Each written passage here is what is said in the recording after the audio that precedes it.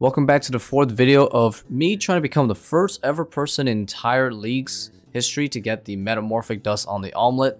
This episode is stupidly action-packed. I'll be revealing to you the most broken range setup with the relic combo in all of League's history, probably. And also, we'll be hitting up a ton of different bosses as I make my way towards the challenge for raids grind for the dust, Dagannoth Kings for the rings, Zuk for the Infernal Cape, Zulrah for all the good drops there, Vorkath for the BIS range backpack, and Bandos for the most broken melee setup for chambers, and also finally getting tier 7 relic unlocked. Hope you guys enjoyed today's video. Oh, 99 hit points, let's go. First 99 on the uh, League's account. And that's another 125 points. Let's go. Oh shoot, another 99. All the 99s are coming in. Easy peasy. Alright, that was like the shortest lived 99 HP untrimmed. Possible cape ever. Even more points. Uh, I guess all the combats will follow shortly with the 99s. Oh, I got it! Hey, let's go. 2x for that, but we got it. That should be a task, right? Yes. Sweet. Alright, let's talk about my setup here for some DKs. We are rocking some Twin Strikes and Absolute Unit right now.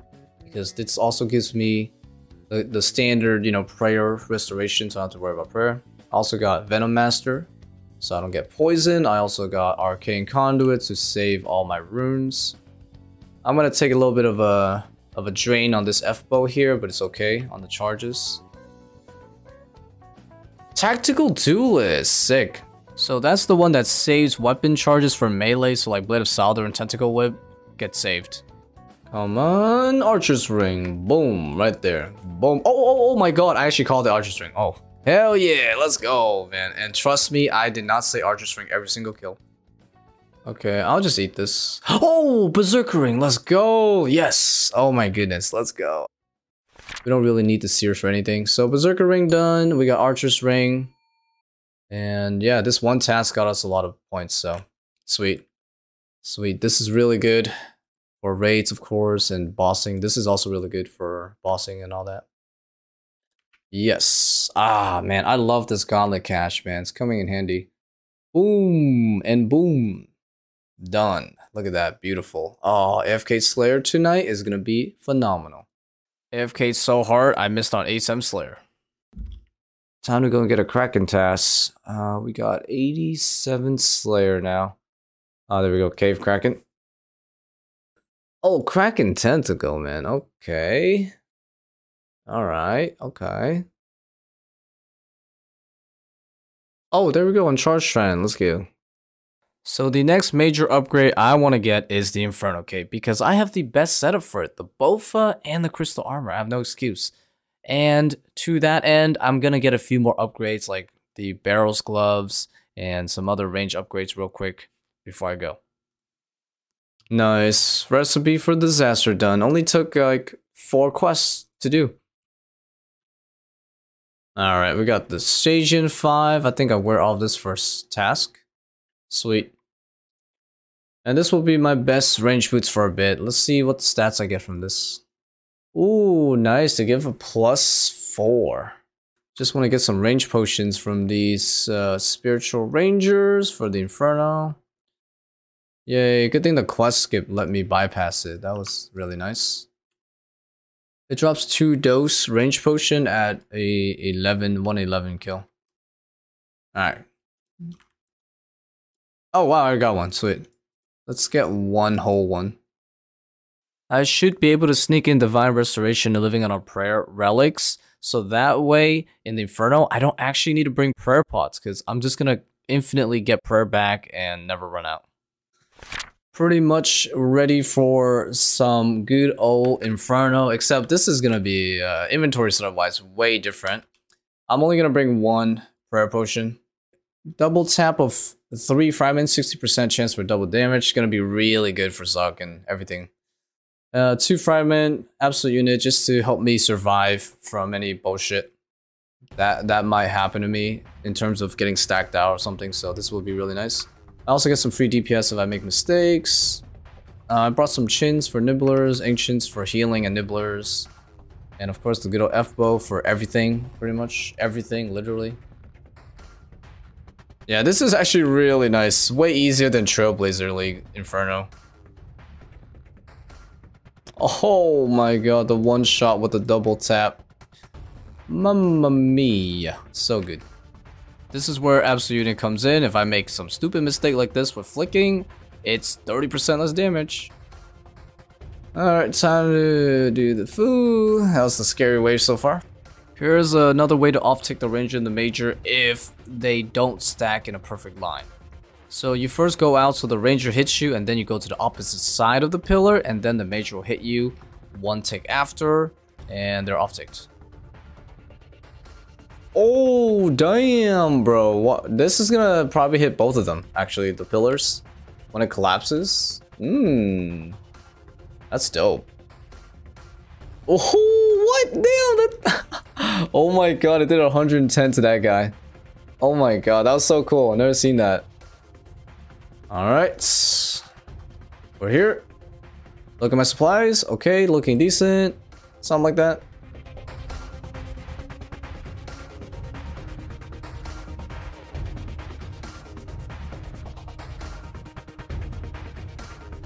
There you go. Oh, that was nice. Yes, that was beautiful. Wait, what? How? Ah, oh, I didn't. It didn't die. What the hell?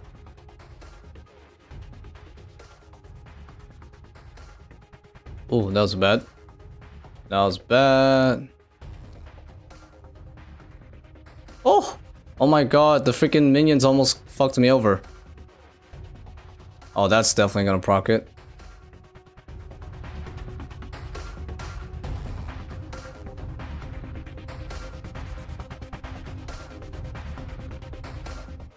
Nice, nice, nice. That's what we're talking about. Overall, this league, Zuk was harder.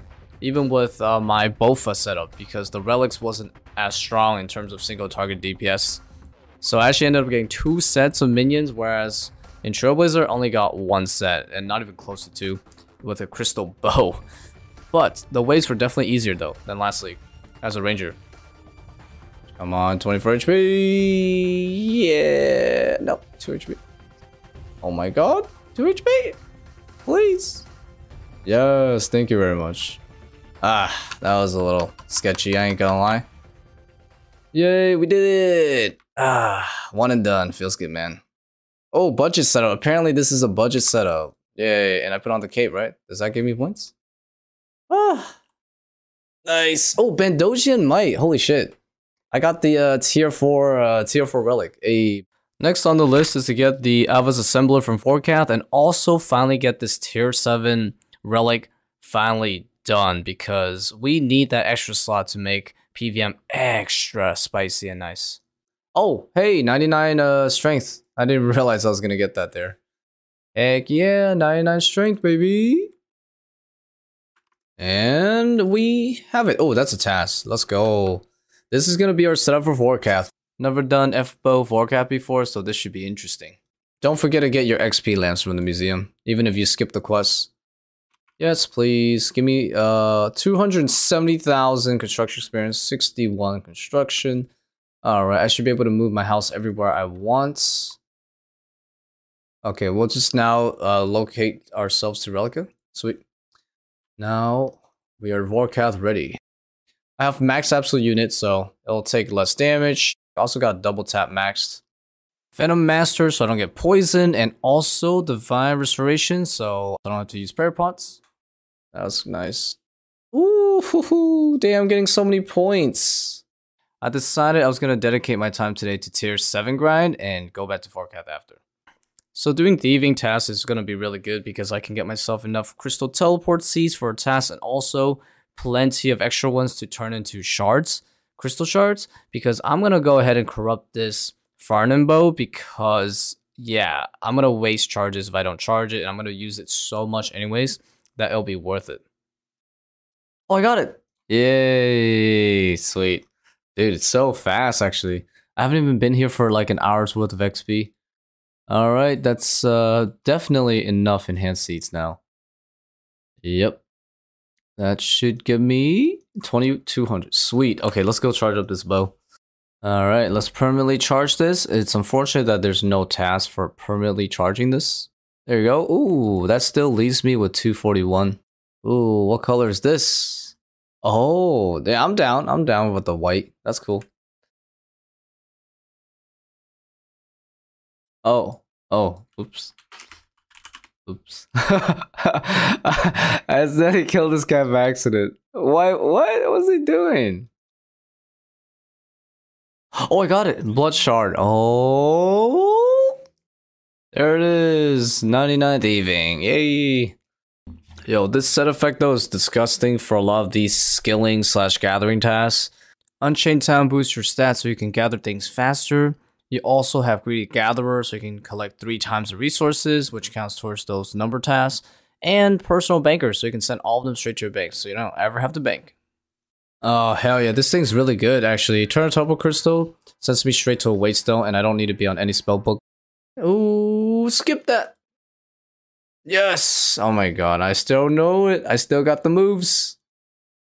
Alright, doesn't this let me finish this task, though? Okay, cool. Alright, that's all I can do for Sepulchre, but hey, 153 points though. Oh my god, dude. So Slayer has so many points, actually, uh, especially at 90. You just go kill a bunch of random Slayer mobs in different areas. so I wonder how many points I'll get from doing all that. I'm not gonna miss a single one of these tasks. Look at this, 50 points for that. Alright, I'll, I'll be back after I finish all these. Oh wow, 260k. Sweet, that's 125 points. Craft an amulet, that's another 125. And then add the Blood Fury, Blood Shard to this. That would give me another 125. 60 points left. Okay. Alright, we're just gonna buy some Desire weapons, I guess.